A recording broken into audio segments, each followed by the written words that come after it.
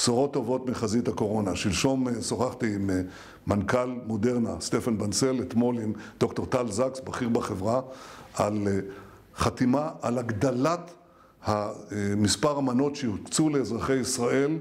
אני מאמין שאנחנו על סף חתימה. חדשות מצוינות, בנוסף לכך שחברת פייזר, שאיתה כבר חתמנו על שמונה מיליון מנות, הולכת להגיש אישור תוך ימים לרשויות הרפואה בארצות הברית כדי לספק את החיסונים האלה, ואנחנו נהיה בין הראשונים לקבלם. זה התחלת הסוף של הקורונה.